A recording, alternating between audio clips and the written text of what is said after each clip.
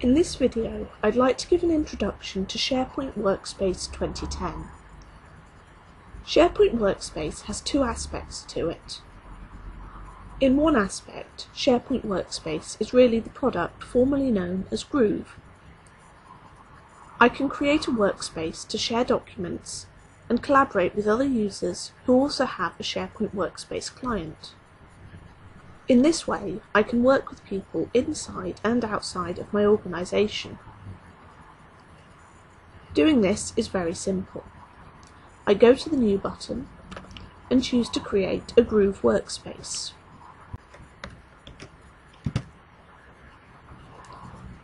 I give it a name and now my workspace is provisioned.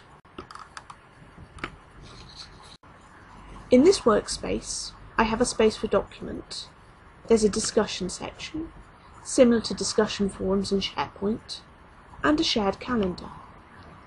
In each of these areas, I can add new items.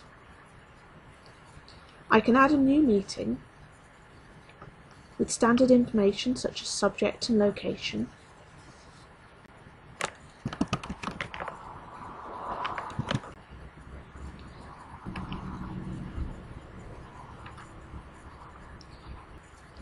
There's also a panel for adding free text, so as well as the basic information, I can add more detail. At the top of the calendar event, I can choose to show different elements, such as the agenda.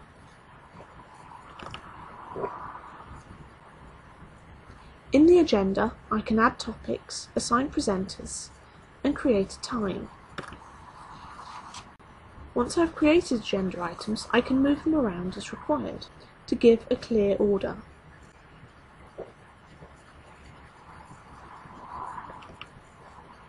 Similarly, I can go to the discussion section and create a new topic. Once somebody has added a topic, I can also reply to theirs, so you can have ongoing communication.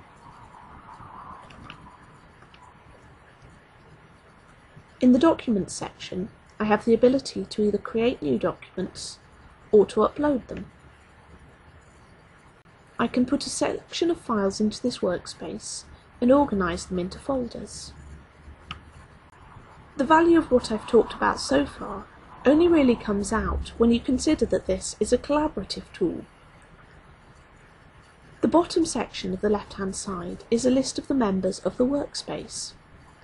So far there's only me, which is not particularly useful, so I can invite somebody else in. I can choose from a list of existing contacts or click on this More link. I could search for a user in my company directory or just type in an email address.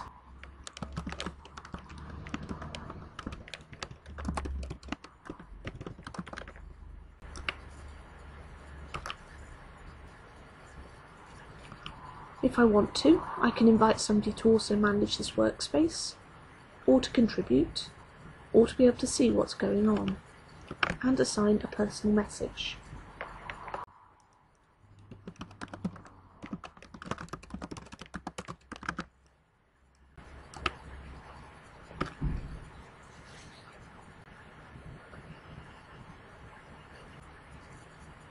This sends out an invitation to invite these people into my workspace.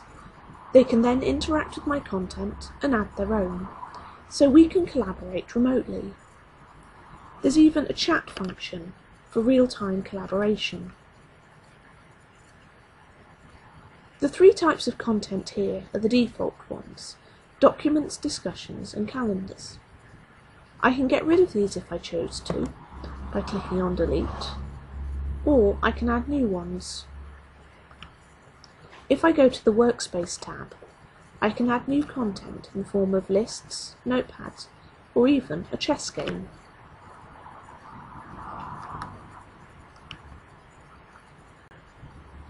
This workspace is flexible enough that its content can be adapted to suit the needs of the users.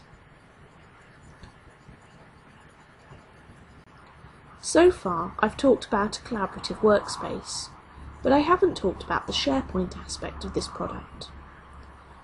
If I go back to the launch bar and click on New again, I can choose to create a SharePoint workspace. Here, instead of being asked for details of a space I'm creating, I'm being asked to provide the address of a SharePoint site. This is because SharePoint Workspace 2010 provides an offline copy of SharePoint 2010 content. I enter the URL of a SharePoint site that I have access to, and SharePoint Workspace starts synchronizing that site with my computer. Depending on the size of the site, this might take a while. Once it's done, I can choose to open the workspace.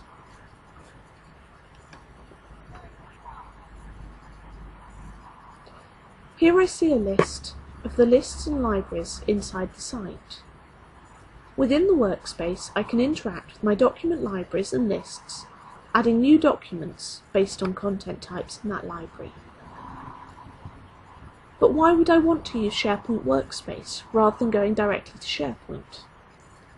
Because SharePoint Workspace is an offline client. I can synchronize a SharePoint list, library, or site to SharePoint Workspace. I can then take my computer offline and continue working on my SharePoint content.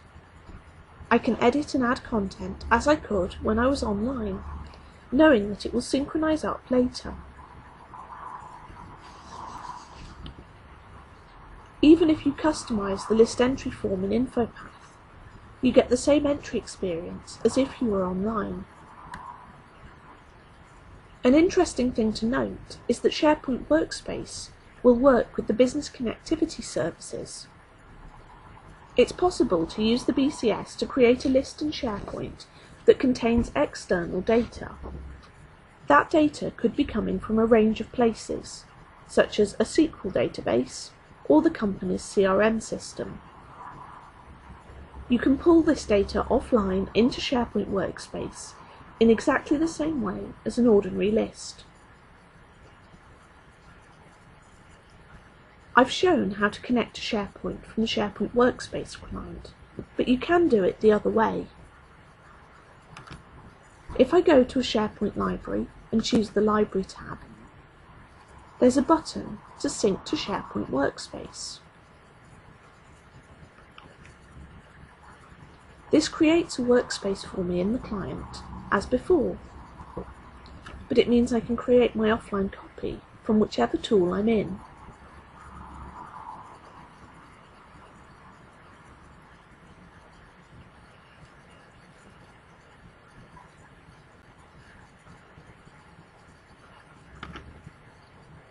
I should point out that in this type of workspace, I don't have the same option to invite others to join my workspace, as I did with the Groove workspace type.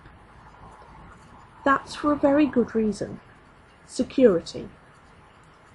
When SharePoint Workspace is used as an offline client to SharePoint, those with permissions to access a list or library can create a workspace for it, but those who do not have permission can't.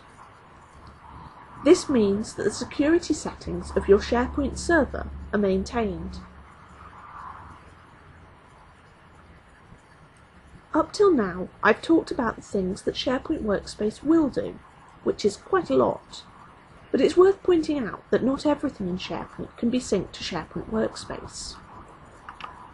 One item which can't be synchronized is the calendar. This was a deliberate choice we still recommend Outlook to be used as the offline client for calendars. Other list types that aren't supported are form libraries, surveys, and the business intelligence lists. As long as you bear those limits in mind, SharePoint Workspace can be a fantastic tool for collaborating externally to SharePoint and for bringing your key SharePoint documents and lists offline.